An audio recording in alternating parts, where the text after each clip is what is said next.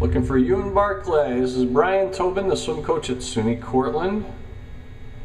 June of 2015.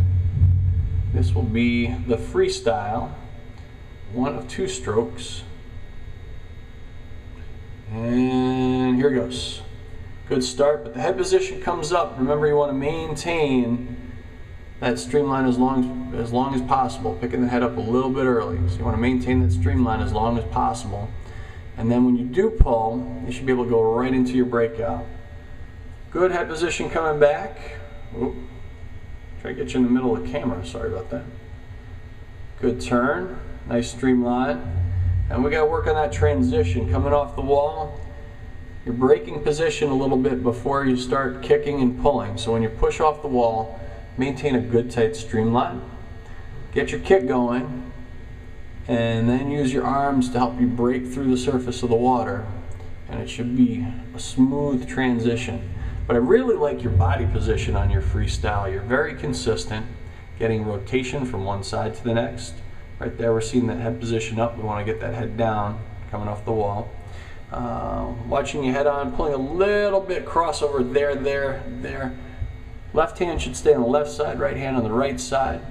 Right now you're crossing over a fair amount, so you want to pull left on the left side, right on the right side. And watch the kick, short, fast feet. But you have a good natural feel for the water. I think you do a very nice job of pulling efficiently.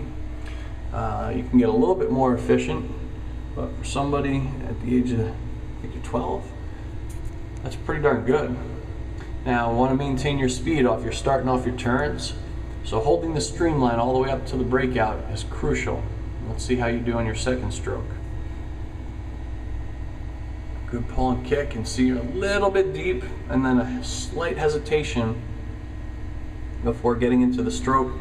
So if we can, a little smoother transition would result from being a little cleaner on the recovery coming up. Try to get to the surface earlier. And then when it's time to break out, fast hands for that first stroke cycle. Don't just kind of come up, make it a breakout, get through the surface. Nice long reach, good smooth strokes, excellent two hand touch coming off the turn. Body position, your head position's up. I see you looking straight ahead every time. And what happens then is the hips, the body position will be diagonal, the hips deeper than the shoulders, which is less efficient you're better off if you can make yourself horizontal. And a good way to help you do that is after you breathe, look at the bottom of the pool. Take a deep breath and look at the bottom of the pool and press the T, press the shoulders down. And when you press the shoulders down, then the hips come up a little bit. Remember teeter totter. Your lungs and your hips, you're trying to balance the two. Press the lungs down, it helps bring the hips up. You're excited, I can see. Big old smile, I like it. Through the turn, and now we'll see the kick, which is very important for the breaststroke. It's a good kick, nice and legal, toes pointing out, squeeze around and together. The kick is not done until the feet squeeze together. Great job, Euan, looking very good.